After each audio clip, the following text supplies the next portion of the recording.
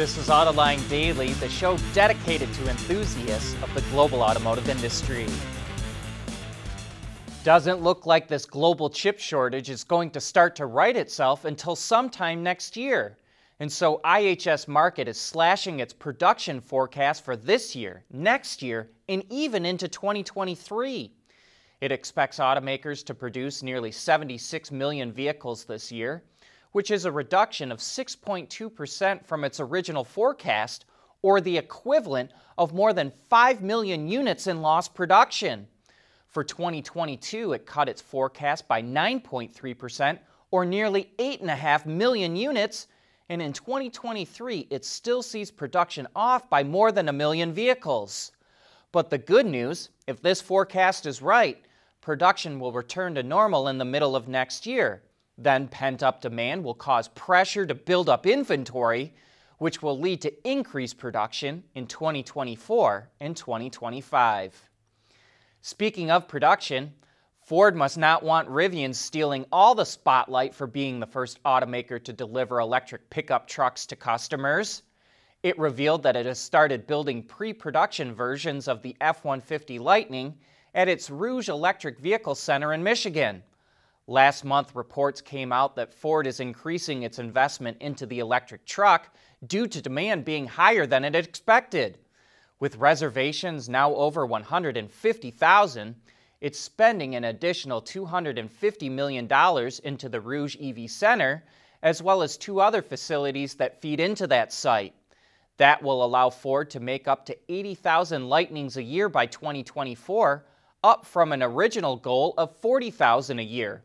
And it will require 450 new workers at the three plants. The F-150 Lightning will have a starting price around $40,000 and a driving range of up to 300 miles. And let's stick on the manufacturing side of things for a moment. The Hyundai Group is not wasting any time to leverage its newly purchased toy, Boston Dynamics.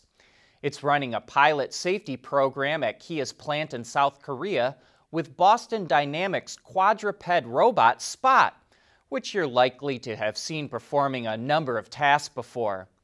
Using thermal cameras and a 3D LiDAR, Spot is able to detect possible fire hazards, identify hard to see areas, and even allow plant and office personnel to remotely observe the plant, which is all done through a secure web page.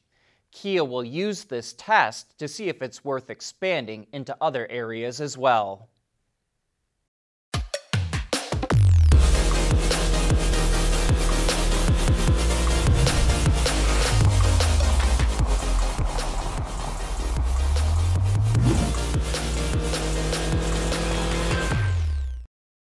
We want to know what drives your testing. OTA, connected car, diagnostics, remote testing. Intrepid Control Systems is here to help you work from anywhere. Intrepid Control Systems, driven by your data. Mobility is becoming electric, connected, and autonomous, just like the manufacturing world. But will always be one thing a reliable partner for our customers.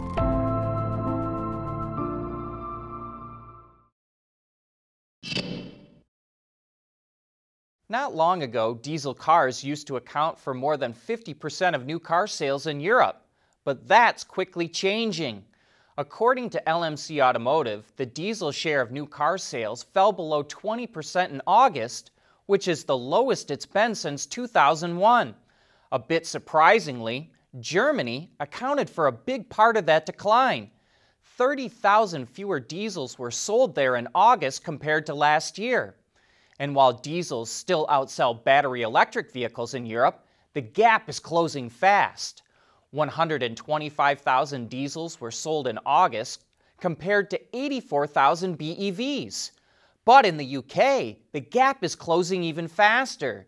Diesels only outsold electrics by 1,000 units last month. The cost of batteries could start to increase due to rising prices of the metals needed to make them. According to Bloomberg, battery prices have declined sharply over the last decade, from $1,200 per kilowatt hour to just $137 per kilowatt hour in 2020. but about 40% of the cell's cost is related to materials that have risen in price over the last year, which means the previous trend could reverse. Bloomberg says it won't last for long, but over the next few years, battery prices could be higher, which will impact the margins automakers make on EVs. And if higher EV prices hurt sales, automakers could face fines in regions like Europe for not meeting emission targets.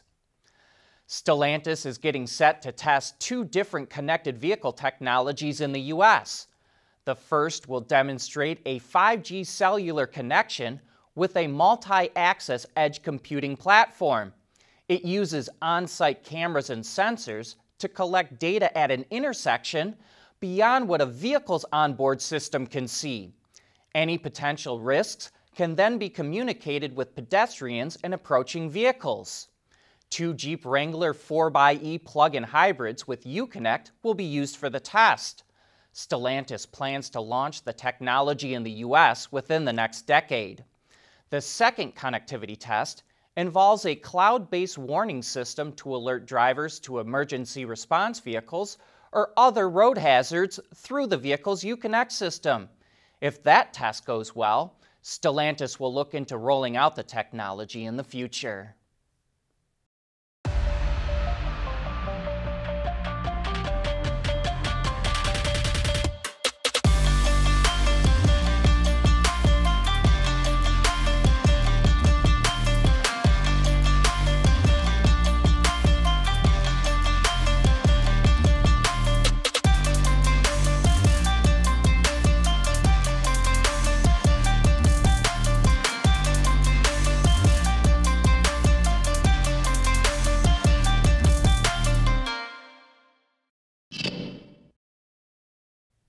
Wuling, which is part of the GM SAIC Chinese joint venture, is expanding its lineup.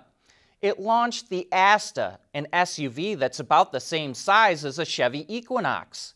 And like the Equinox, it comes standard with a 1.5 liter turbocharged four cylinder engine, but it's mated to a CVT. That setup propels the Astra from 0 to 100 kilometers an hour in 10.6 seconds. Once inside, passengers will be able to enjoy a large panoramic sunroof and a 10 and a quarter inch floating display screen. There are going to be five variants of the Asta that are priced between nearly $11,000 to roughly $15,500. We recently had the Volvo XC60 Polestar plug-in hybrid roll through the Autoline garage, and we came away fairly impressed with the crossover. Outside of its gold brake calipers that hint at its performance, you wouldn't know this thing is a rocket just by looking at it. Powering the vehicle is a 2-liter super and turbocharged engine mated to an 8-speed automatic transmission. Combined with the electric motors, it cranks out 415 horsepower and nearly 500 pound-feet of torque. It has about 20 miles of electric range and fuel economy when running only on gasoline isn't too shabby at 27 mpg combined. It's a pleasure to drive and also whisper quiet while driving, especially when running only on electricity. And while it is impressively quick, the interior is the real star of the show.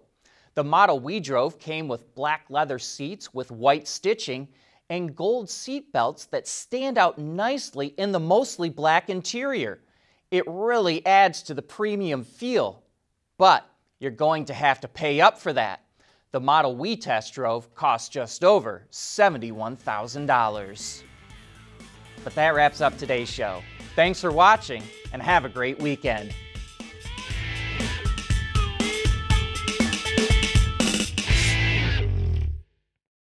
AutoLine Daily is brought to you by Bridgestone, solutions for your journey, Intrepid Control Systems, over the air engineering, boost your game, Schaeffler, we pioneer motion, and by Magna.